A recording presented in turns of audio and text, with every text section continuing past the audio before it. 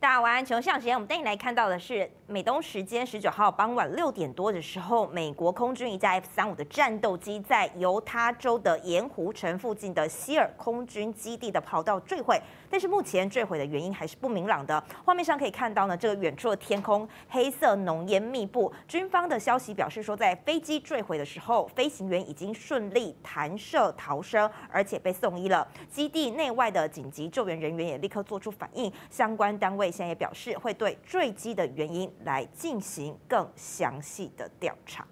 持续来关注的是中共二十大，今天是进行到第五天的议程。大陆外交部在记者会上头也细数了这十年来的外交成果。大陆外交部的副部长马朝旭呢，他先是说国家主权、安全、发展利益都是得到有力的维护，面对外部的遏制打压，展开了针锋相对、坚定有力的斗争。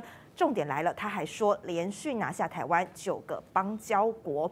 另外，他也再次的表示，针对佩洛西日前在八月份访台一连串的反制，重申反台独，更反制美方还有西方无理的制裁，挫败以疆制淮，就是以新疆的问题来持续的发表意见，这些政治图谋，他说都是不接受的。好，任何教师也颐指气使，绝不反对呢，把这个人权的问题给政治化，各种单边制裁，当然了，种种就是在。暗批美国了，而同时间呢，大陆外交部的发言人华春莹昨天晚间再度在他的 Twitter 账号上头发布了图文，他的重点是回顾了“一带一路”倡议在过去六九年当中取得的重大成就，似乎就是选在二十大召开之际，积极秀出外交上头的成果。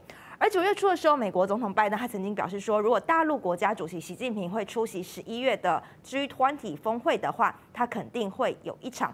拜习会，而针对习近平到底会不会出席 G 团体峰会呢？大陆外交部今天也在中共二十大的记者会上头做出回应，一起来听。我们积极支持印尼作为 G20 主席国的工作，支持巴厘岛峰会确定的共同复苏、强劲复苏这样一个主题。我们也期待峰会在加强抗击疫情国际合作。促进世界经济复苏、维护全球粮食、能源安全等方面发挥积极的建设性的作用。关于中方领导人与会的消息，我们将适时发布。谢谢。再要看到，在俄乌战争影响之下，欧洲多个国家都是深受通膨飙升、能源价格飙涨之苦。在意大利跟法国，日前都有民众上街抗议天然气跟电力的价格上涨。Ben, moi, je suis là parce que face à l'inflation galopante en France et partout en Europe, euh, il faut que les travailleurs dont je fais partie soient, récompensés. Enfin, même si c'est même pas une récompense, c'est qu'ils soient justement rétribués. Et donc, il faut une hausse des salaires. Il y a les énergies qui explosent, il y a, les denrées alimentaires qui explosent. Voilà, on va jamais s'en sortir à ce niveau-là.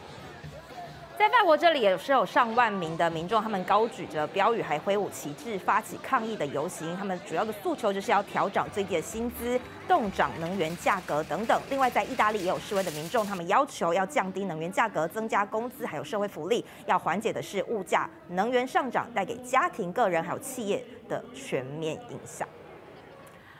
持续要看到是，在英国当然也面临了通膨压力。九月的消费者物价指数比同期还要增加了百分之十点一，创下了四十年来的新高。而光是牛奶的价格居然就涨了百分之六十二，是非常惊人。超市商品、蔬果、牛奶、面包全部掌声响起，民众苦不堪言。英国通货膨胀，九月消费者物价指数破两位数，上升百分之十点一，重返七月高点，也是近四十年来新高。I know that Europeans are concerned, concerned about inflation, concerned about the energy bills, concerned about the winter.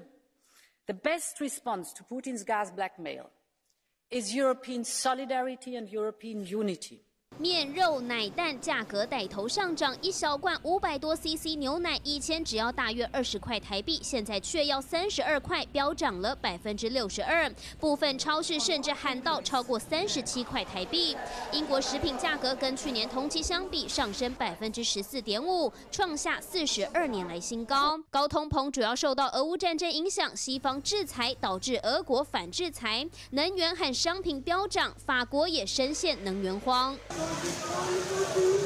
法国各个工会罢工，大约十万人走上街头抗议，不满通货膨胀，要求提高工资。而且法国近三成的加油站都没油可加，仅剩少许油量的加油站则大排长龙。欧盟整体通膨率百分之十一，比英国更高。美国的汽油平均价格也一度飙破每加仑五美元，导致民怨四起。总统拜登宣布从战略石油储备释出行动中释出最后一批一千五百万桶原油到市场，要来降低油价。但不少人批评拜登此举只是为了赢得十一月的其中选举。记者李清前真茂报道。大陆国防部长魏凤和在演在习近平二十大的报告分组讨论当中，他说，为了应应国际的局势哦，解放军必须要随时做好打仗的准备，来捍卫国家主权的安全，剑指两岸升温局势。日本媒体日经独家报道，消息人士指出，华府正在考虑和台湾联手生产武器，来提升美国设计武器的产能，并加速移交给台湾，强化对大陆的震慑力。不过，美国国务院低调，不愿意证实。The U.S. is looking at all options on the table to ensure that the rapid transfer of defense capabilities to Taiwan can take place as swiftly as possible and consistent with the Taiwan Relations Act. 消息人士指出，磋商将持续至二零二三年底，但美台。双方目前已经展开初步讨论，提出两个合作方案。第一是在台湾制造武器，但由美国国防公司提供技术；而另一个方案则是在美国生产武器，并使用台湾制造的零件。若计划顺利定案，恐怕会引起北京激烈回应。坚持边斗争边备战边建设。着力提高捍卫国家主权安全。大陆国防部长魏凤和在习近平二十大报告讨论中强调，大陆解放军必须保持警惕，并随时准备打仗来捍卫国家安全，剑指两岸紧绷关系。不过，这已经不是他近期第一次发表对台强硬言论。如果有人胆敢把台湾分裂出去，我们一定会不惜一战，不惜代价。一定会打到底。美国海军作战部长麦克杰尔迪十九号分析习近平的二十大报告，他认为无法排除大陆今年或是二零二三犯台的可能性。国务卿布林肯近期也表示，他认为北京逐渐将统一的时间提前。Beijing was determined to pursue reunification on a much. Faster timeline。尽管布林肯重申美国仍然维持一中政策，但王文斌批评这番言论是在篡改一中承诺，并且控诉美国近期售台武器规模不断上升，更大幅增加官方来往，所作所为都在违背美国口中的一中承诺。美中关系白热化之际，在台海问题上，两国矛盾越演越烈。记者刘佳宇报道。